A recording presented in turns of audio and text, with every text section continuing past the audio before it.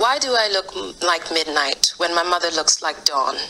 Please make me as fair as the parents I'm from. I want to be beautiful, not just to pretend. Mm. I want to have daylight. I want to have friends. If you hear me, my lord, and would like to comply, may I wake up as bright as the sun in the sky. Amen.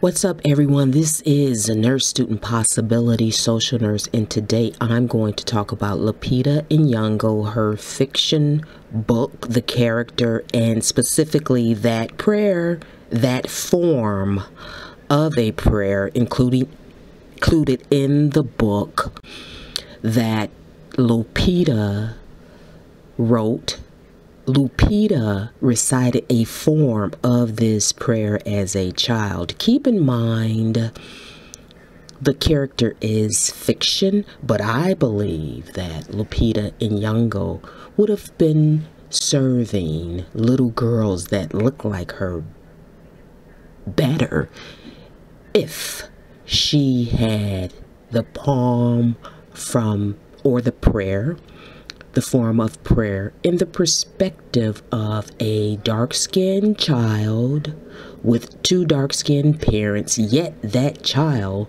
wants to look fair skinned or beautiful. Give it from that perspective because it actually exists out there.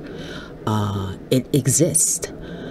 Yet Lupita Nyong'o chose to manipulate the prayer in the character to have a light skin, dawn complexion, mother and the daughter is dark.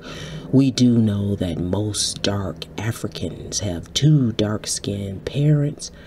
Even in America, most dark skinned children in our spectrum of dark skinned black Americans have dark skinned parents that's not to say that it's 100%, but the majority indeed.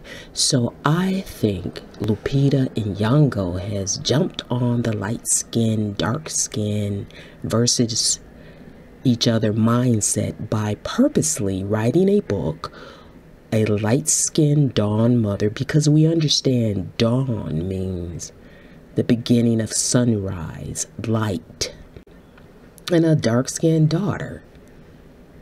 She could have really been honest with a perspective, try to help people to understand how could a beautiful dark skinned woman with two dark skinned parents feel bad about their phenotype or their appearance or their shade of complexion. How did that happen? And how do we corrected, what steps should be taken instead of including a fictitious light skinned mother. I mean, this is a form of prayer that she recited. I question the motive. I think a better point would be to write it from a perspective that she can identify with dark skinned parents, dark skinned daughter, and self confidence issues concerning beauty, skin tone, complexion, and how to overcome that. What positive things did her parents say to help her?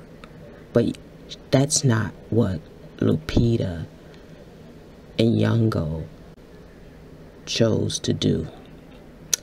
Interesting why take that course of road with the fictitious character in book? Just think about that.